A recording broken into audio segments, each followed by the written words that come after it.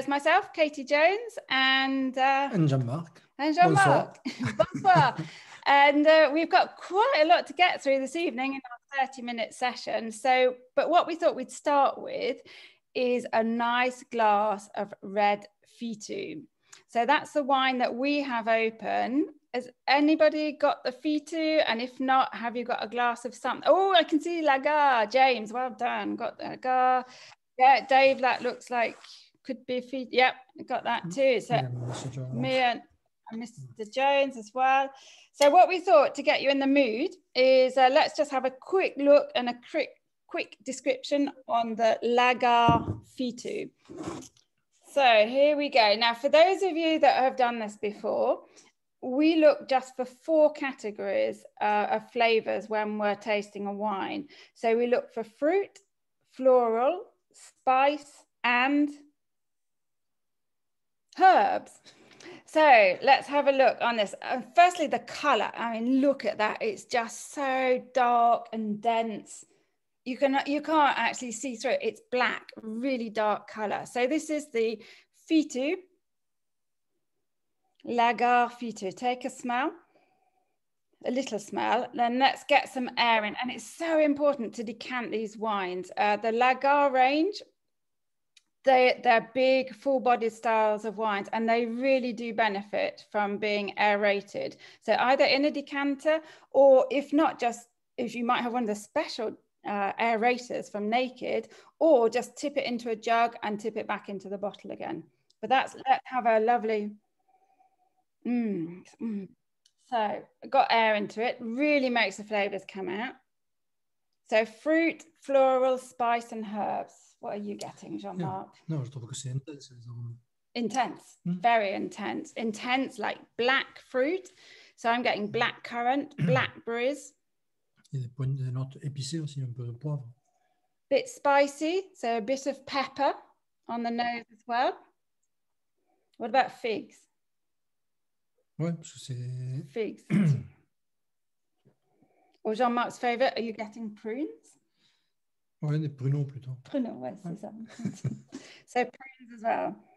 And we're getting that lovely spice, a hint of spice, pepper, and also the lovely herbs from the garrigue, so the rosemary and the thyme. If you've never experienced the garrigue, it's basically the natural landscape we have down here. It's full of rosemary, it's full of thyme, and you can actually pick up those wonderful flavors on the nose and on the palate as well.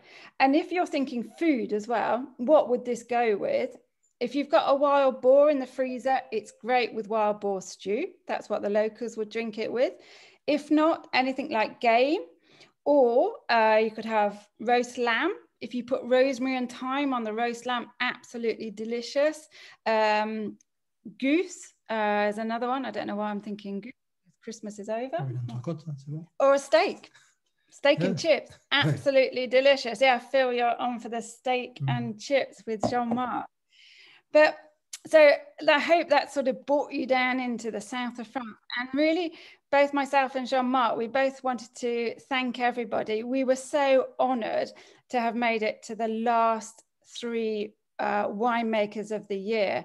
Um, just to be in the top three with Stefano and Nina, it was a really big honor for myself. And uh, this year wasn't for me, but the most exciting thing is that we actually get to make our dream wine. So we're really, really pleased about that. And we we just basically want to make you something really, really special. But we also want you to be part of that journey as well. We want you to, to help us and feel like you've actually been with us on the journey to make the wine. So our very special wine is going to be called uh, Sunshine After Rain. Now, I think my mum and dad are here from Ashby de la Zouch, and it was actually the reason that we're calling it Sunshine After Rain is that my mum, um, I don't know how many of you know the story about when I lost my wine to vandals here in Tuchan, and I actually had my vats emptied um, back in 2013. 13, yeah we were just totally devastated. And um, I remember phoning my mum, and she said, Don't worry, Katie, there's always sunshine after rain. And at the time, we could only really see the rain. And now, looking back on it, we know what the, the sunshine was. The sunshine was all of you, and the sunshine was naked because it was thanks to that awful act of vandalism that we actually started working with naked. So, a very special phrase, um, sunshine after rain. And I just felt that today we could all do with a bit more sunshine. And so we really want to make you a wine that is going to add a bit of sunshine and southern France into your lives at the moment because there will be sunshine after rain. So there's lots of me talking this evening, but as we go on, you'll see that we're going to have lots more Zooms and chances for you to, to join in and to visit the vineyards. But so, what are we going to make? Mm-hmm. mm-hmm. well, we want to do something rather special. And what we do that is rather special down here in Tuchan is that we work with old vines. So for us, it just had to come from some old vines. But we wanted to do something novel and something that probably hasn't been done for years and years. And so we wanted to look back at the original recipe for Fitou. So Fitou is an appellation wine. That means that it has um, rules and regulations that you have to abide by. And it was created right back in 1948. It was the first red wine appellation from down here. But the rules have really changed since 1948, and especially concerning the different grape varieties that you can use. And so, our Sunshine After Rain wine we want to make is a Fitou, but with a difference because we want to use that original recipe from the 1948 appellation rules. And that means it's going to be 75% red grapes, so Carignan and Grenache. These grow particularly well down here, especially old vines. And then it's going to be 25% of a white grape. So back in 1948, you were allowed to add Macabeu, Muscat, Terret, Malvoisie, Après, il y avait le mais qui est rouge. And the red. Et il est dans les 25%. In the 25%. So you were actually allowed to add 25% of a white grape into the red grapes. And we just thought, wouldn't that be fascinating to do that again? And Yes, it's about like in Côte du Rhône, like in uh, Côte Rôtie or Hermitage or Saint Joseph, or you can use uh, Marsanne, Roussanne, or Viognier. And here the idea is to do something uh, with the first variety in the Fitou. Yeah. Thank you. Sorry. miles away. yeah. Um, so yeah, following on from delicious wines that can be made in the in the Côte de Rhône, where they actually mix the Viognier with the Syrah. So we're going to do the same sort of thing. We're going to, when we say mix, you can't actually make the red wine and make the white wine, then mix it together. You have to co-ferment the grapes. So we'll actually be picking and mixing those grapes when we ferment. So they will be mixed in the tank. Mm. So who knows? Uh, very uh, excited. On veut reprendre l'idée de, mm. de l'appellation originale, mais avec des technologies modernes. Yeah, so we want to go back to the original 1948 appellation rules in terms of grapes, but obviously with modern wine taking, modern modern wine making techniques that we have now at the Lagar winery here in Tuchan. And you may be thinking, just one more word on the old vines before I show you photos. Just why old vines? Aren't old vines past it? Shouldn't you be better with younger vines? No, no, I can see Phil going, no, no, no. Old vines are fantastic. The only problem is they don't produce very many grapes. But what they do produce is so concentrated and so rich and balanced that it makes a far superior style of wine. So the main part of the vines that we will be using are going to be over 80 years old. and that means they're not going to be producing that much but it is going to be really really special and i think some of the best grapes in the languedoc i really think from the old vines especially here it's so a sort of drought climate there's hardly any rain. And uh, it means that the old vines their roots go a long way down. So they can always get the water and they can always stay fresh and healthy during the growing season. They don't dry up at all. So very excited about the old vine and our special wine we're going to be making for you angels. Um, but that's not all because we want join us on the journey. Just one last thing before we actually get on the journey um, is that because we are no longer respecting the rules for Fitou, we're funnily enough not allowed to call it a Fitou. So it's going to be inspired by Fitou from 1948, but we are not allowed to put the vintage, uh, the, the word Fitou on there because we're no longer respecting the vines. So um, be quite interesting exactly what we are going to call it, but we shall see. So let's have a look. Now, this is where you can come in over the next month. Um, I'm just going to share the screen to get you down to see exactly the vineyard where I will be where the heart of this wine will be coming from. So just bear with me. I hope I don't lose you all. If I do, it was a very nice session. So here we go on the share and on the let's play from the start. So hopefully now, yeah, we're good. Thumbs up. Uh, you've got just for those of you who don't know where we're talking to you from this evening and where our vineyards are. We are right down here. I can see people getting their tea towels out already. That is fantastic. Um, people who don't know what the tea towels are all about, it's another thing you're going to learn when you come and visit my vineyards. So I have these tea towels printed with maps of my vineyards, so you will never get lost. and um, so we're right down here um, in the south of France, in what is known as the Languedoc-Roussillon. So along the way, I'm going to be teaching you about the history of winemaking down here. It's actually the biggest, largest wine area in the whole of France traditionally known for not so good quality wine, but big volumes of it, and now getting better and better and better. A lot thanks to these old vines that were uh, that are available in the Languedoc Roussillon area.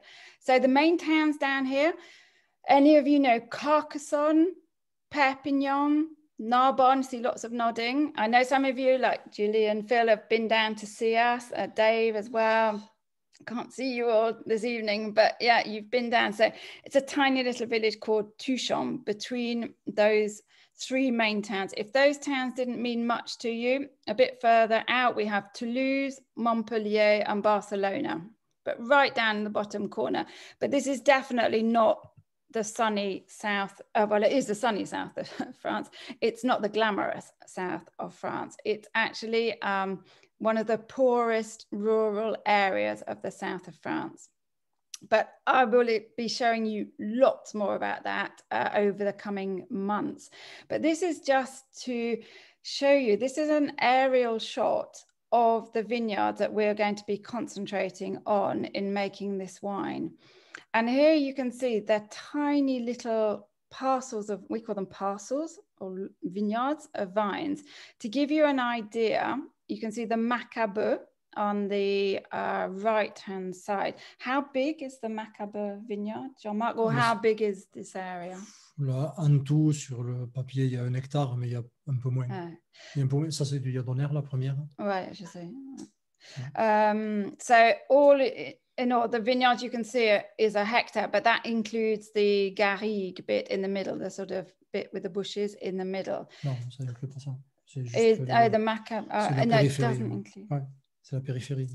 Okay. Ok. And how big is the Macabeu? Là, le Macabeu, c'est petit, ça fait, je sais pas, juste le Macabeu, 10, 15 ans. So that's 10 to 15 R, which is. il y a du Macabeu mélangé dans le grenache. Okay, So we've got, start from the beginning, we've got Macabeu on the right hand side. So it's a tiny little parcel of just a couple of rows, really densely planted, the Macabeu. Next to that, we have the Carignan. And then just coming up the hill, we have Grenache, and uh, it's also mixed in with some other Macabeu as well. So mixed planting in that vineyard. And as you come further up the hill, um, we have some, I didn't label we have what I call the hairy grenache or the Lladoner Pelut as well. For those of you who do have your tea towels out, uh, this is the vineyard, it's called the Col de la Loze, and it's above the tiny village of Paziols. So in the Fitou appellation. So all of these vineyards classified within the Fitou appellation. So we are actually classifying Fitou vineyards to make sunshine after rain. And then I did point this out on this little map here, just on the left-hand side, you can see it's marked abandoned vineyard. That's not us that abandoned the vineyard. Uh, we feel like we actually saved these other vineyards here. But every year our accountant says they're hardly producing any grapes. Uh, they're not economically viable. And we're like, yeah, but they're so lovely. The wine's delicious. We want to keep them. And so we always have this little fight with our accountant. But with your support this year, um, it means that our little vineyards here are not going to become that abandoned vineyard that is just next door to these here. So again, a massive thank you. And just if you're wondering what it actually looks like in that vineyard. So here's me hugging one of these lovely, I'm going to say Grenache and Jean-Marc will go, that's not Grenache. Grenache vines here. Um, but this is just to show you the lovely scenery that you can come and join in with me and admire and take in on our I call them vineyard rambles like the others on our special Naked Wines vineyard rambles. And look at this view right over in the background. You've got the Chateau d'Aguilar, which is a Cathar castle from the 11th century. You've got a patchwork of little tiny vines in the valley. And I mean, there's just nothing built up there at all. There's no big industry. It's just open space and lots and lots of sunshine. So over the next couple of months, I will, I, I say I, as in I and yes, Jean-Marc, uh, will be, I'll be holding the camera and Jean-Marc that will be taking you up into this vineyard and we will be showing you all of the seasons um, from now right up to picking, processing the grapes from these vines and beyond that as well. So just to um, whet your appetite a little bit, hopefully on the 5th of March. So that's Friday, this Friday at 5 p.m. So we've done a nice gentle afternoon stroll. That's 5 p.m. UK time. Uh, we will be out in the vineyard and we will just be walking around it and Jean-Marc will be looking at all of the work that needs doing in these little tiny vineyards. So that's 5th of March. It's going to be on Naked's Instagram page. So I'm going to do a takeover of the Naked Wines UK Instagram page at five o'clock on Friday. And then just to give you an idea of other things, and there may be other things you're thinking, oh, yeah, but I want to see that. Let me know. Let me know if there are other things that you want to look at. April, um, I think this is where Jean Marc perhaps will be building the mm-hmm. wild boar fence. Yes, I don't know when, but so that's what we looked at because we just thought that if we want to have grapes by the end of the growing season, this vineyard really needs to be fenced in to protect it against the wild boar. Last year, we lost a lot of grapes up there hmm. to the very greedy wild boar. So this year, part of what we'll be doing, and we'll be showing that in April, we'll be actually building the wild boar fence. And then we start, the leaves will just be coming out. So we'll be starting to powder the vines as well. That's all done by hand. So um, you'll see all the work that goes into it. May, we'll be looking at what we call le travail en vert. So green work in the vineyard. Green work is things like thinning out the shoot, just so we have not too much, not too big a yield on the vines. We want to keep it really, really low. Thinning out the shoots, uh, weeding, if anybody fancies a spot of weeding, um, that's going to have to be done by hand up there as well. In June, we're going to move on to the, uh, the flowering, so the floraison, the flowering. And in July, we're going to move on to when the grapes just gradually change color. So if you haven't ever seen any of this, this will be your opportunity to see it. And because it's done by Instagram Live, uh, it means that you can also ask questions as we go around the vineyard. And if there's things you wanted to know, you can interact with us.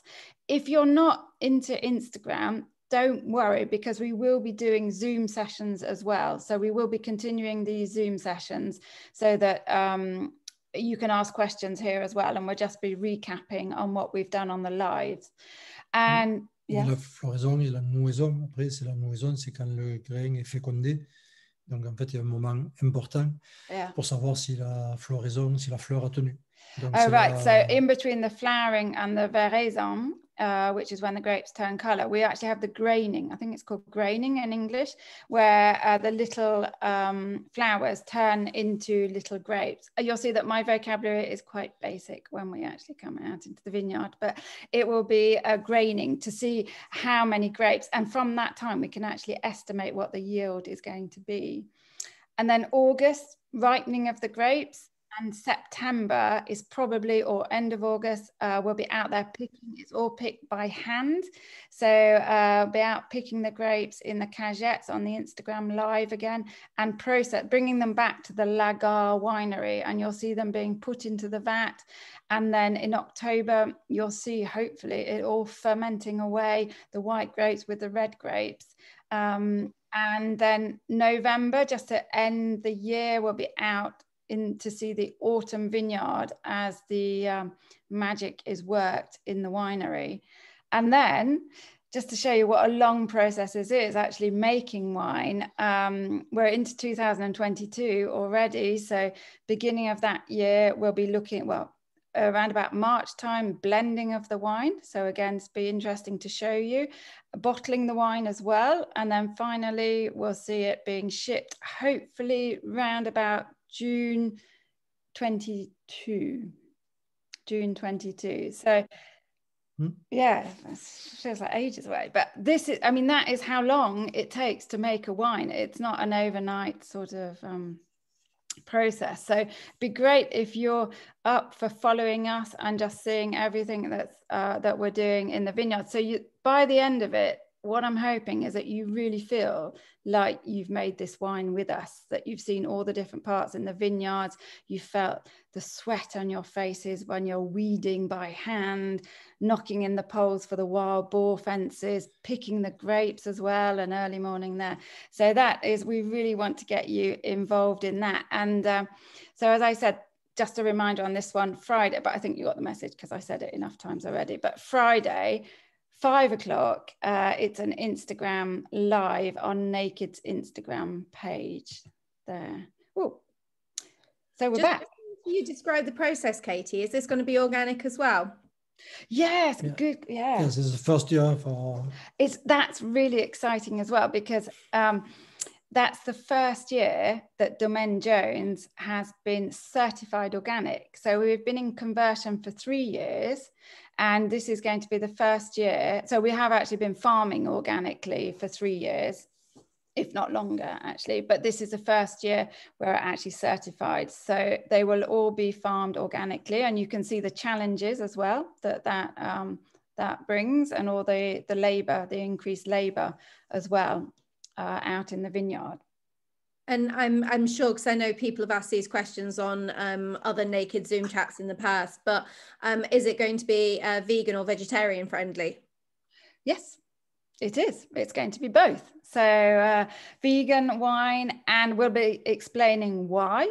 Like I can see lots of you nodding, and those of you who've been following my uh, morning vineyard rambles, uh, you know what a vegan wine is because we did a whole session on what is vegan wine. But we will be explaining. People say, well, the wine's vegan, but do you actually know why it's vegan or what makes it vegan, what's taken out or not put in?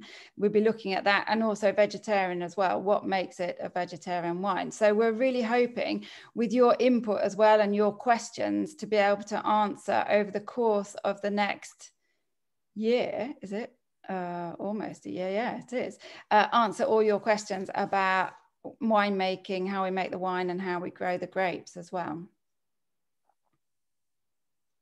Oh, that came to it. so I finished on my uh, little presentation of what we'll be doing, and I can see what it's 27 minutes past, but I think we've got time. If anybody has uh, a question at this stage, uh, I think you need to put your hand up and we will try as best we can to answer your questions. Um, Stuart McPherson was very quick on that. I've just asked if you want to unmute Stuart, so you can you should be able to. There you go. Hi, Stuart. Hello. Hello. It's a really silly question from from Wales. Okay. Yeah. Well done in the rugby. I know. Don't mention the rugby. Uh, my wife is from Scotland and I'm oh. from England and my daughter is Scot- well, so we don't mention rugby. Okay, anyway, uh, do. it's, it's a really silly question, and forgive me for asking. Is that often you say that when you taste the wine, you you taste pepper and mm. um, strawberries and black currants and raspberries. Um, first question is: Is it a surprise to you as to what they taste of? And the second thing is where where do these tastes come from? Because if I make an apple crumble, it tastes of apples. Because you put apples in it. Put apples in it. So yeah. where is the pepper and the strawberries yeah. coming from? Ok, good question. Il demande d'où viennent les, les arômes dans le vin, en fait. Non, les arômes. It is, I mean, it's a simple question, but it's quite a difficult question. Dans le raisin. If you want me to come in and I'll, I'll ask it in person if you will. yeah, yeah, please do. Donc, tout est dans la pellicule du raisin ouais. et selon les variétés, puisqu'on yeah. à la vinification, donc ces arômes se... Mm. Donc, quand on goûte un raisin et quand on goûte le vin, on n'a pas exactement les mêmes, euh, les mêmes sensations et les mêmes ouais. arômes. Donc, la fermentation joue un rôle.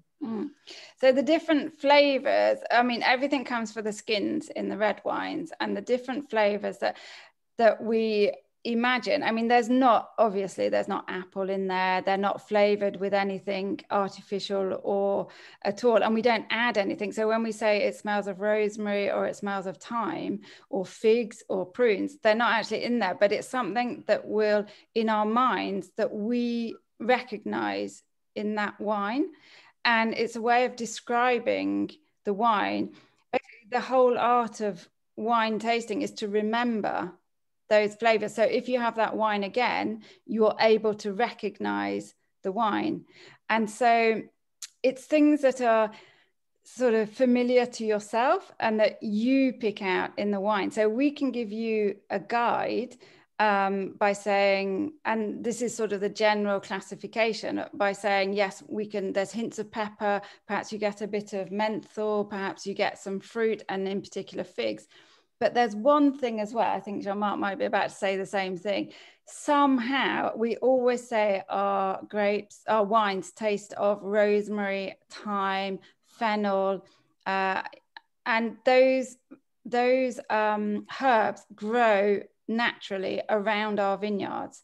And okay. somehow, and I don't know how it happens, Stuart, but somehow those flavors find their way. I don't know if it's transferred onto the grape skins. Sur la, pruine, oh, it is. Um, it's on the um, on the.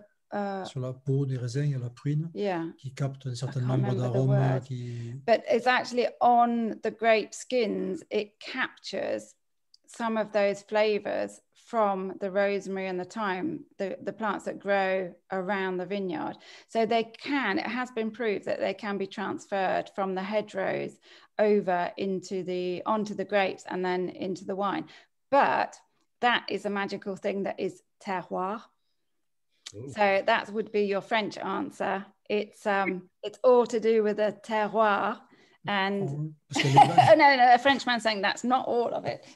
Il y a les variétés déjà. Oh, Chaque yeah. variété. And each grape variety has a specific, uh, uh, a different flavor. Uh, there, there's so many different grape varieties in the world that Merlot doesn't smell like a Cabernet Sauvignon, doesn't smell like a Grenache, doesn't smell like a Syrah, and it's just finding a way of identifying these for yourself, even so that you would recognize them again.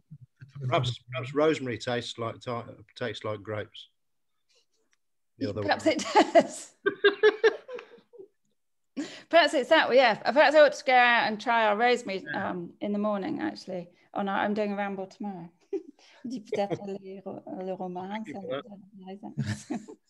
so I hope we, in a roundabout way, answered your question, Stuart, on that one. I'll come and test it one day. Come and test it out. Yeah, that would be the easiest way. Um, I know it's half past Katie, but we've actually got two hands up, one from Roy and one from Roger. Do you have time for two more quick questions? Of course, yes, that would be lovely to hear from Roger um, and Roy. Okay, um, I've asked uh, Roy if he wants to open his microphone. He should be able to unmute himself now. There you go. Good evening, Katie. Good evening, John Mark. Hello, Roy. How are you? Fine, thank you. Yourselves? Yes, we're fine, thank you. Good. Um, we seem to have some good news at the moment with our horrible thing, but um, we won't talk about that. Okay. Um, Katie, will you be able to um, post your presentation with the, the dates and the subjects and maybe some kind of a time scale? I know you can't do time scales for the future because it will depend on the ripening of the grapes, etc. But yeah. just some idea.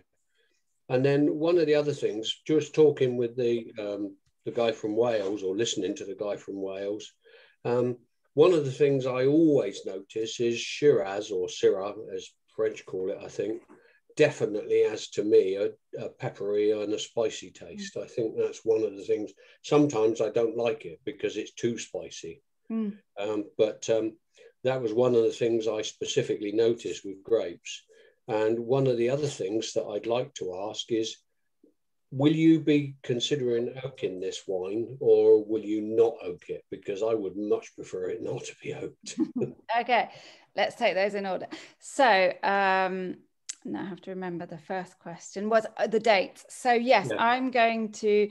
I I think what I will do is fix a uh, a date the day per month. So every month you will know which day it's going to be on. And then I think if anything happens in between time, we will add them on. So there will be extra ones in between time, just so that uh, we can always remember, for example, it's the first of the month or so. And I will be posting those up every time I'm going to do one. I'll post them up on my naked right. wall.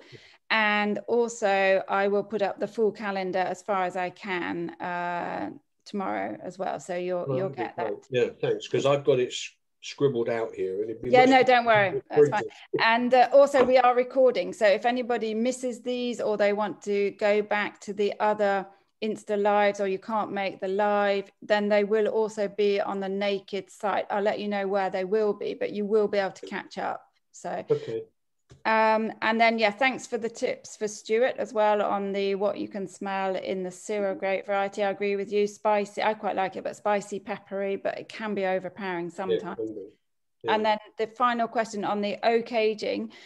I think we we will be using a very slight, subtle, integrated oak aging on the wine. So it's not going to be heavily oaked and I mm. was a bit like you when I started making wine. I was like, I don't want oak on it. I much prefer without just the pure fruit. And since then, I have learned that there's oak aging and there's oak aging. And if yeah. oak aging is done well and with the best French oak barrels, you it actually enhances the wine without taking any of that fruit away. And you probably wouldn't even notice that there is oak on the no, wine. It's like all your wines that I've drunk. I don't feel that any of them are oaked. There you go. Thank you. But I've drunk so many Australian wines that are yeah, I, I, over oaked. Not to buy Australian because they were certainly used to be extremely heavily oaked. Yeah. Well, now that I can guarantee. A lot.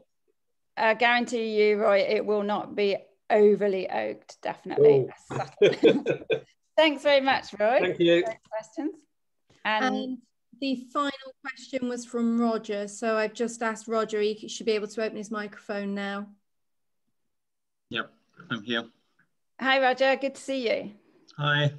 Um, just a quick follow-on comment from the comments earlier about flavors. In the, I think that's one of the most wonderful things about drinking wine is it pretty much never tastes of grapes. So yeah, yeah, just about everything else, but not grapes. Um, so my, my question really was with this using this original recipe for for the old style Fitou, what's your expectation in terms of how the wine will end up tasting? Will it be like a modern Fitou, or will it be like something something else? And what else would it be like in your view? What's your expectation? It, yeah, I think it's going to be quite unique. Um, but I think that the Macabeu, so we will be using Macabeu. I gave you the whole list um, of the white grapes we can use. Uh, so it would be Carignan, Grenache, and Macabeu.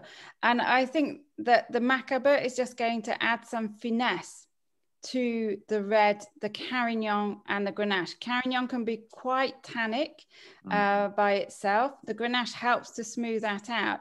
But I think that the Macabeu is going to help to smooth that even more and just add uh, finesse and freshness in a way to the wine too. So it's still going to be a wine that you can age because we're going to age it in oak. So you'll still get the body in there, but hopefully we'll get more freshness. And um, because we've never done it before, I mean, we're really excited about what it's going to be like. Um, but we'll be doing lots of little tanks of it, I think, rather than one big tank, just so that we can mix and blend when we've actually made the wine when I say different tanks, it will be co-fermented in different tanks, not a red one and a white one. Le Macabeu est un blanc qui vieillit bien aussi. Oh yeah, that's yeah. Um, the Macabeu as well is a, a white variety, but that ages really well. So the Macabeu is a great variety that you can. I do a hundred percent white Macabeu, and you can lay down that wine for five years, six years even longer, absolutely no problem. It actually gets better, it gets weightier, it gets heavier uh, as it gets older. So we think it should combine really, really well with the Carignan and the Grenache. And we're really, really excited about being able to do it. Et à l'origine, c'était utilisé parce que les vinifications se faisaient avec les raisins entiers. Donc, mm. il y avait beaucoup d'astringence et les blancs amenaient une certaine élégance, une certaine finesse. Yeah. So originally, um, the the red grapes wouldn't have been destalked and it would have been whole bunches. So the macabeu was used to add finesse and to smooth those whole bunch vinification around. So um, yeah, I think it's going to be interesting, exciting, and we're really looking forward to um, a good result with it. I know we'll be the only people doing it this way, so um, fingers crossed. It should be fun. Yeah, great. Thank um, you very much. We've had one late hand. If you've got a second for just one final quick question, so yeah, absolutely no problem. I can see yeah. that's Peter. Um, that's yeah, Peter. So I've just Peter, you should be able to unmute yourself. Yeah, I can. Thanks. Yep, hear me? Yeah, ready when you are. Hi, Peter. Yeah. Uh, hi.